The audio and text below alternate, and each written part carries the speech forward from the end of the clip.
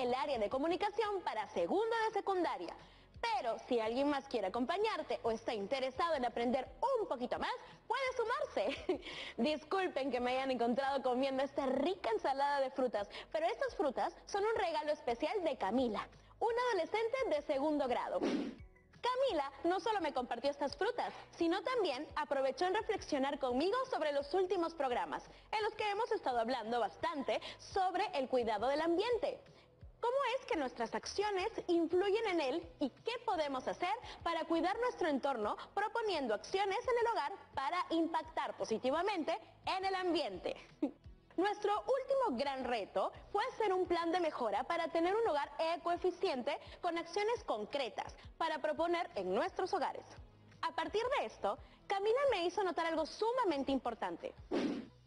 Camila me propuso que, así como hicimos un plan de mejora para tener un hogar ecoeficiente, podemos plantear una propuesta más grande que tome en cuenta todo el país y que nos permita cuidar a todos los seres que habitan en él, además de nuestros alimentos como estas ricas frutas o la variedad de tubérculos, hortalizas, verduras y en general todo nuestro país. Es decir, preocuparnos más por la biodiversidad que caracteriza nuestro país. Y sí, tiene razón, pues si bien hemos aprendido sobre nuestro entorno, ¿qué hay más allá de eso? ¿Por qué no podemos preocuparnos también por cuidar otros aspectos más globales de nuestro país y su diversidad y riqueza, por ejemplo? Y es que, como mencionó Camila, pareciera como si tuviéramos que convencer a las personas de no contaminar, de cuidar nuestro país y no entendemos que es el lugar donde vivimos y que la gran tarea de todas y todos es cuidarla como nuestra casa. Para acompañar a Camila en este gran reto que nos ha propuesto, responderemos a la pregunta, ¿Por qué es importante conservar y promover nuestra biodiversidad para cuidar nuestra salud y supervivencia? Y para poder dar respuesta a esta pregunta, vamos a necesitar de la profesora. Pero antes de empezar, no se olviden de tener lápiz y papel a la mano y también un espacio de trabajo ordenado. Démosle la bienvenida a la profesora Felicitas. Miluzca, ¿qué tal? ¿Cómo están chicas y chicos en sus casas? Estamos muy bien, profesora. Me alegra mucho saber eso. Veo que estaban hablando sobre la biodiversidad en el Perú. Es un tema muy importante. Sí, estábamos pensando en razones que nos permitan dar respuesta a la pregunta planteada. Queremos convencer a todas las personas que podamos sobre la importancia de conservar y promover nuestra biodiversidad para cuidar nuestra salud y supervivencia, sobre todo pensando en la situación que estamos viviendo. Ya sé exactamente qué clase de texto podemos hacer para lograr ese propósito. ¿En serio? ¿Cuál? Un texto argumentativo. Me parece que no hemos hecho ninguno hasta ahora así que sería buena ocasión para aprender a hacerlos. Si nuestro propósito es persuadir y tratar de convencer de nuestra postura, y para ello debemos dar razones. Un texto argumentativo es justo lo que necesitamos. ¡Qué bien! Pero, ¿por qué un texto argumentativo? Te puedo dar tres razones. En primer lugar, dentro de un texto argumentativo hay una idea que se defiende. En segundo lugar, esta idea que estás tratando de defender se sustenta con razones sólidas. ¿Esos serían los argumentos? En efecto, de ahí viene el nombre en sí.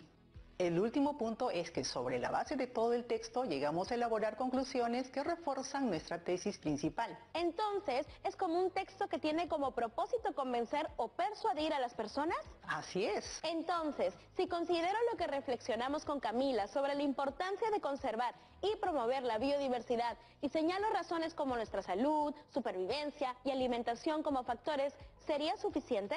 Es un buen punto de partida, Miluska. Esas son tres razones importantes, pero debes sustentarlas con información, hechos y datos y explicarlo, confrontarlo con información que te permita defender tu tesis original. ¿Y eso es construir los argumentos? Ahora veamos el camino que vamos a recorrer en estas dos semanas para lograr este propósito. En esta semana, en este programa, vamos a leer y reflexionar sobre la biodiversidad en el Perú, y en el siguiente programa vamos a leer y reflexionar sobre por qué es importante cuidarla y promoverla.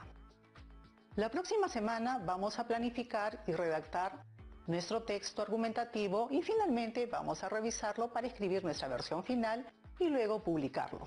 ¡Genial! Me queda muy claro el camino que recorreremos esta semana.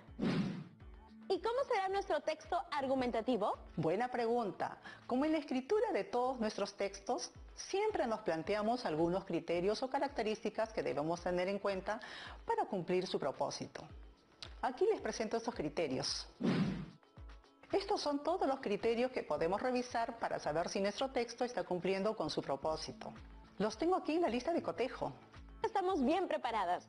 Por ejemplo, debo revisar si mi postura es clara frente al problema planteado. Si mis argumentos son claros, sólidos, tienen validez y permiten sustentar mi postura con información desde los diversos campos y ciencias. Si las ideas de mi texto son claras, coherentes y cohesionadas y no tienen vacíos de información.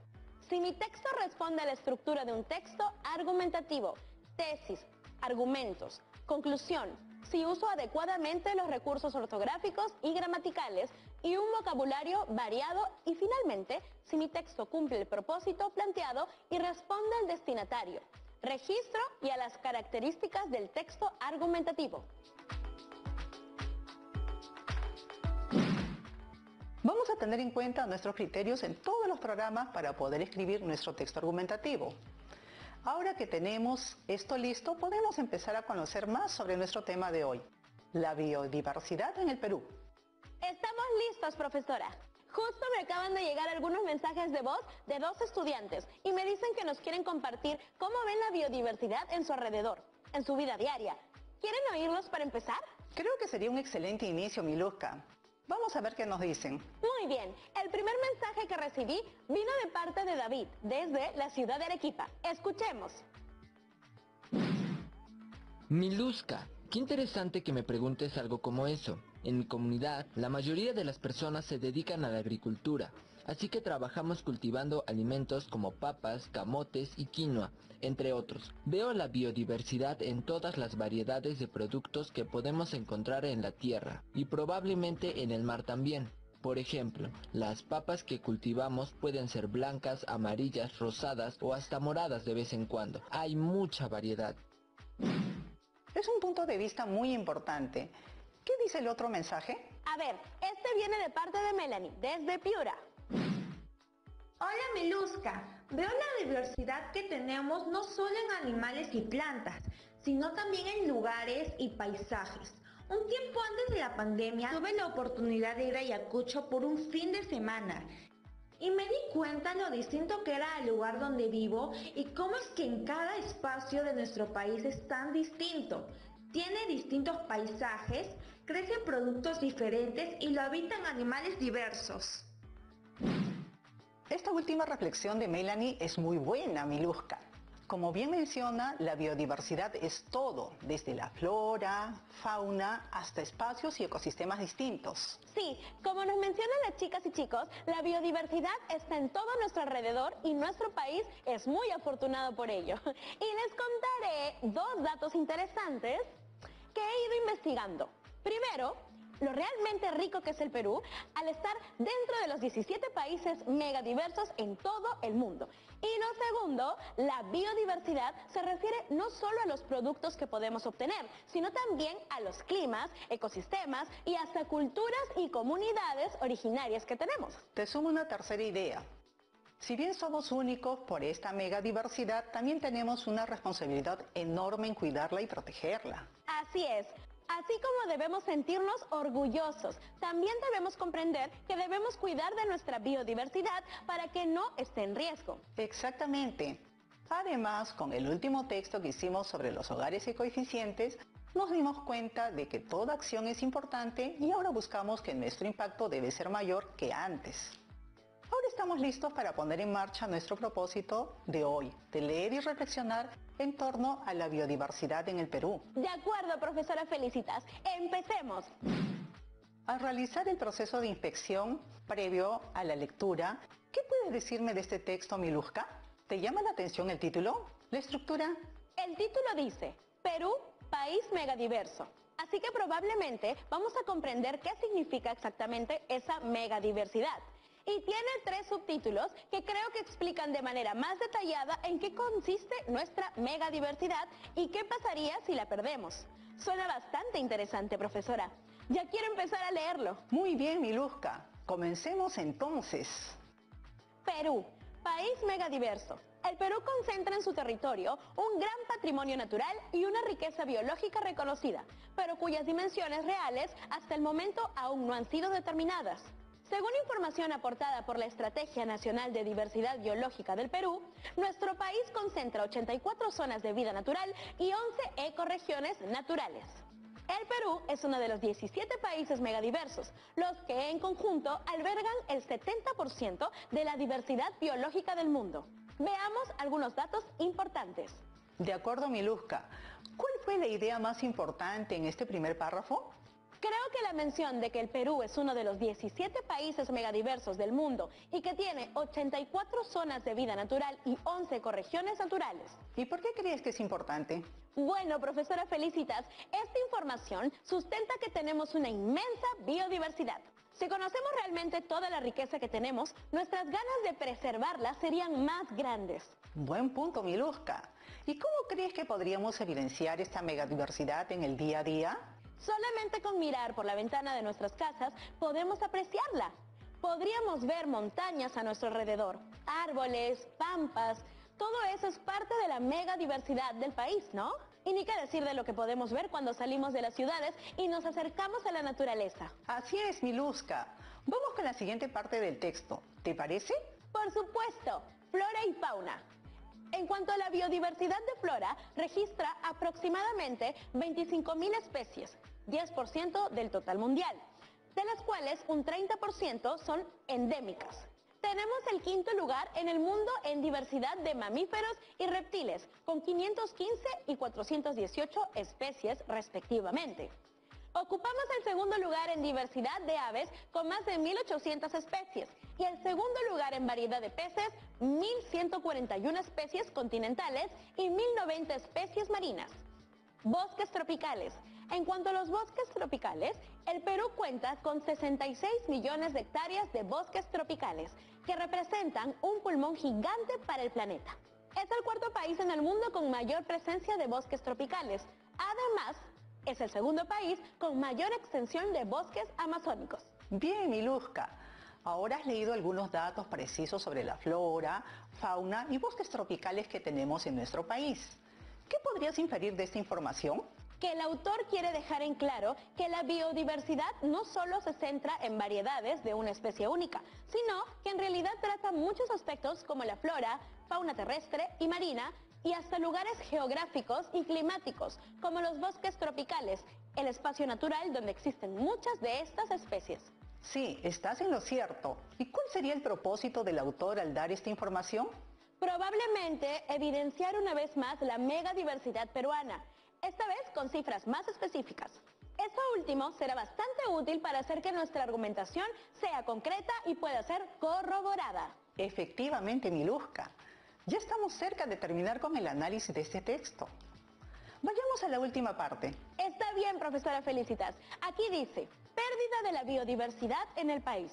Las actividades humanas como la ganadería extensiva, la agricultura en suelos inadecuados, la minería ilegal, la pesca predatoria, etc., alteran el equilibrio natural de los ecosistemas, lo que produce modificaciones dramáticas de la composición de los mismos, así como de las relaciones entre especies e individuos.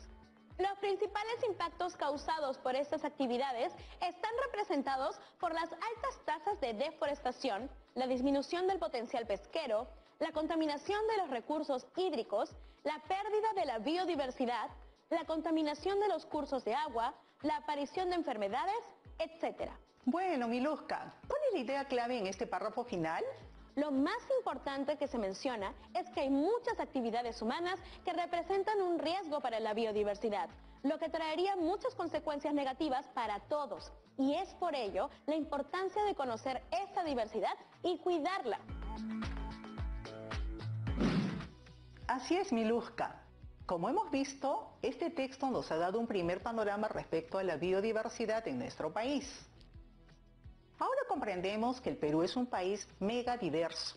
Sabemos algunas cifras específicas de lo rica que es esta diversidad y también conocemos información valiosa sobre la necesidad de comprender cómo la actividad humana puede afectar nuestra biodiversidad. Y justamente a raíz de esta información, preguntémonos entonces, ¿por qué es importante la biodiversidad? Esta es parte de la pregunta que responderemos en nuestro texto argumentativo. Para ello he traído dos textos que nos ayudarán a reflexionar sobre ello. Prestemos atención a las razones o argumentos que explican la importancia de conservar y promover la biodiversidad. Manos a la obra, profesora Felicitas. Pero antes, debemos ir a una pausa para reflexionar un poco sobre lo que hemos aprendido hasta ahora. ¡Ya volvemos! a comprender por qué es importante la biodiversidad. Así podremos ir identificando ideas claves que nos ayudarán a construir argumentos sólidos. Profesora, ya podemos continuar. Estupendo. Veamos, al igual que con el primer texto, realicemos una inspección rápida. ¿Qué entendemos por biodiversidad? Por el título y los subtítulos que hay en el texto, puedo ver que el tema principal es que es la biodiversidad y cómo es que aparece dentro de nuestra vida cotidiana. Correcto. Ahora que reconocemos esto, podemos leer todo el texto.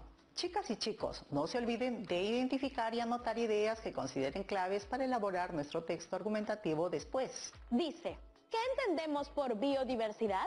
La diversidad biológica, denominada también biodiversidad, es la variedad de organismos vivos de cualquier fuente, incluidos los ecosistemas terrestres y acuáticos, y los complejos ecológicos de los que forman parte. Comprende la diversidad dentro de cada especie, entre las especies y de los ecosistemas. La biodiversidad de nuestro día a día se encuentra en todas partes, tanto en la tierra como en el agua.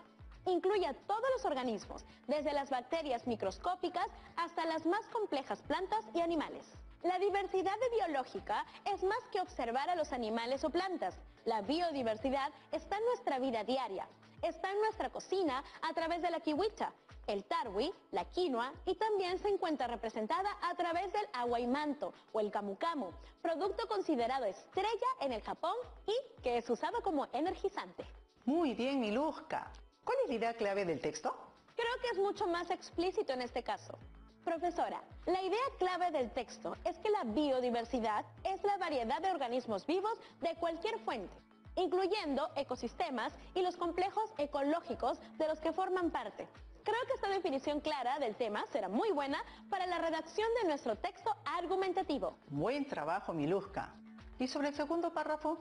Básicamente dice que la importancia de la biodiversidad está en el hecho de que está presente en todas partes, como la tierra, el agua y nuestra vida diaria.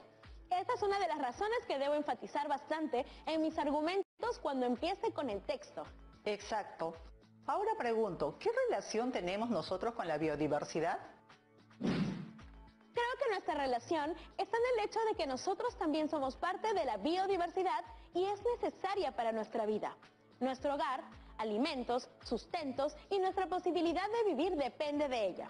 Por eso deberíamos cuidarla. Si somos capaces de aprovechar la biodiversidad sin abusar de ella o explotarla, todos salimos ganando. Esa es una gran reflexión, Miluska. Por ello tengo un último texto que va a ayudarnos a terminar de comprender un poco más la importancia de la biodiversidad. Genial, vamos a ver qué ideas podemos sacar de aquí. Solo con inspeccionar el texto un poco, veo que también abordará cómo es que la biodiversidad está relacionada al desarrollo de un país. Con esto ya estaríamos mucho más cerca de los argumentos que podríamos usar para sustentar la importancia de conservar y promover la biodiversidad de nuestro país y del planeta Tierra en general.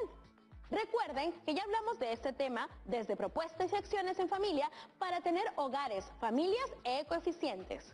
Ahora queremos ponerlo en el contexto macro, el de la sociedad, el país y el mundo. Fantástico, Miluska. Empecemos leyendo el primer párrafo entonces. Importancia de la biodiversidad. La biodiversidad es importante para la salud de las personas, ya que produce bienes y servicios para satisfacer nuestras necesidades de aire y agua, limpias, alimentos, medicamentos, ropa, materiales de construcción y protección. Uno de los servicios más destacables de la biodiversidad es el aporte de alimentos para las poblaciones rurales y urbanas. Es una de las fuentes primordiales de la seguridad alimenticia. Nuestros alimentos provienen de plantas y animales domesticados y de la caza, la pesca y la recolección de plantas silvestres. Es importante mencionar también que las plantas domésticas o nativas como la papa, el maíz, el tomate, etc., Son recursos genéticos que tienen valor económico y significan beneficios para los países que los usan, para mejorar variedades cultivadas y en muchos casos patentar nuevas variedades. De acuerdo, Miluska. Al igual que con el resto de textos que hemos leído hasta el momento, dime, ¿cuál es la idea central? ¿Qué crees que te ayudaría a plantear tus argumentos? En este caso, creo que hay muchos argumentos o razones que nos ayudan a sustentar la conservación y promoción de la biodiversidad, profesora Felicitas. La salud, alimentación, medicamentos, ropa, materiales, todo lo que tenemos, usamos y necesitamos, existe gracias a la biodiversidad. Esto me puede ayudar a ir pensando en uno de los criterios de la lista de cotejo en que deberíamos plantear argumentos desde los distintos campos y ciencias. Tomaré nota de ello para cuando tenga que escribir. ¿Y por qué crees que el autor menciona que la biodiversidad es una de las fuentes más importantes para la seguridad alimentaria? Yo diría que es para reflexionar sobre el acceso a diversos alimentos que tenemos, profesora. Si seguimos poniendo en riesgo la biodiversidad y no la cuidamos, estaríamos arriesgando nuestra propia alimentación con ello. Es una forma de que las personas comprendan de manera más efectiva lo realmente importante que es la biodiversidad dentro de nuestras vidas. Excelente trabajo, Miluska. Es importante que analicemos la intención del autor a través de cada idea que menciona. Veamos cómo es que se ha respaldado con datos concretos. Vamos con la segunda parte del texto, ¿te parece? Biodiversidad y desarrollo. La economía nacional depende de cerca del 60% de la biodiversidad, tanto en lo referente a la producción agrícola, pesquera, ganadera y forestal, como en lo industrial, la biodiversidad es una fuente importante de productos para el autoabastecimiento de las poblaciones locales. Por ejemplo, en la sierra, los camélidos domésticos, llama y alpaca, constituyen una fuente muy importante de abastecimiento de proteínas para las comunidades altoandinas. Vaya, profesora, 60% es bastante. Así es, Miluska. Ese es un dato que podrías utilizar en tu texto argumentativo. Y la segunda noción clave es que la biodiversidad es una fuente importante de productos para el autoabastecimiento de las poblaciones locales. ¿Autoabastecimiento?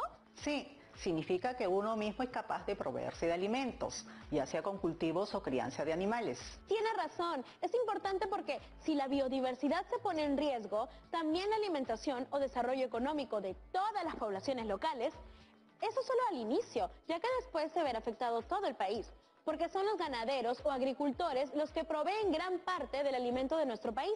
Efectivamente, me parece que con este texto tenemos un poco más claro que el mantenimiento y protección de la biodiversidad es importante y fundamental para muchos campos diferentes, como el económico, la salud, y la alimentación de las personas. Y en general también hemos visto la definición de biodiversidad, su importancia y el impacto en el desarrollo del país. Creo que con lo que hemos aprendido hoy podemos empezar a pensar cómo responder a la pregunta inicial de nuestra experiencia de aprendizaje. ¿Por qué es importante cuidar y preservar nuestra biodiversidad para cuidar nuestra salud y supervivencia? Así es, Miluska. ¿Qué ideas a partir de lo visto hasta el momento tienes por ahora para responder a esa pregunta? Estaba pensando que la biodiversidad es importante porque se trata de todos los organismos vivos y los ecosistemas donde se encuentra. Además, en nuestro país dependemos de esa biodiversidad para mantener nuestra economía, salud y alimentación para nuestra vida en general. Es un buen inicio, Miluska. Gran trabajo el día de hoy. Antes de terminar el programa, tenemos un par de preguntas de las chicas y chicos. Vamos con la primera pregunta.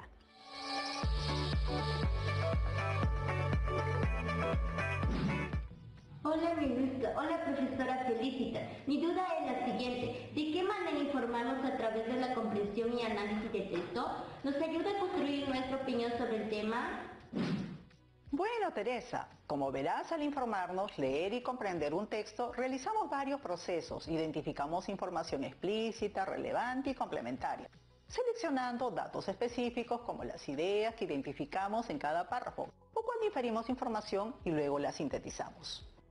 Este proceso de comprensión y análisis nos ayuda primero a identificar las ideas clave. Y sobre la base de esas ideas podemos construir nuestra propia postura respecto al tema.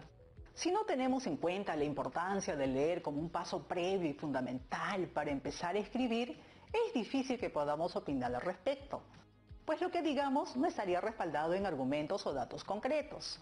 Por eso debemos tener en cuenta que cada vez que queremos escribir, es importante comprender la información sobre la cual desarrollaremos el texto. Espero que esto resuelva tu duda. Y nuestra última pregunta viene de parte de Martín desde la ciudad de Moquegua. Hola a todos, gracias por tener en cuenta mi pregunta. ¿Por qué es importante identificar el propósito y la postura del autor? Estupenda pregunta, Martín. Lo cierto es que identificar el propósito del texto y la postura del autor es importante, porque es parte de nuestro proceso de comprensión del sentido global del texto. Al entender la postura del autor, estamos haciendo un proceso de comprensión muy importante porque no solo decodificamos la información explícita que se nos brinda, sino que a partir de ella generamos conclusiones e inferencias respecto a lo que el autor piensa del tema. También es posible que no estemos en total acuerdo con las opiniones expresadas por el autor. Eso está bien, pero sí es importante que nuestra opinión se sustente en argumentos, esto es necesario identificarlo en las lecturas que realizamos porque cuando nos toque asumir el rol de escritores y escritoras, nosotros también debemos plasmar nuestra postura y respaldarla con información concreta. Hemos llegado al final del programa. Muchísimas gracias por acompañarnos en este aprendizaje el día de hoy. Creo que hemos avanzado bastante, Miluska. Gracias a ustedes por estar atentos. Antes de despedirme, quiero recordarles a las y los adolescentes que sigan manteniendo este importante ritmo y compromiso que han demostrado hasta ahora. El Perú está aprendiendo mucho de ustedes también. A seguir estudiando, pues es su derecho. No permitan que nadie limite sus aspiraciones. Hasta pronto. Muchas gracias por ese mensaje, profesora Felicitas. Gracias. Bueno, chicas y chicos, el día de hoy hemos descubierto un poco más acerca de lo importante que es la biodiversidad para todos. Esto, claro, con el objetivo de hacer un texto argumentativo que nos permita explicar este descubrimiento. Espero que les haya gustado mucho el programa de hoy. Antes de terminar, quiero dejarles el reto del día de hoy. En casa, reflexionen de manera personal y con sus familiares y respondan a esta pregunta. ¿En el lugar donde vivimos hay biodiversidad a nuestro alrededor? ¿Por qué es importante preservarla?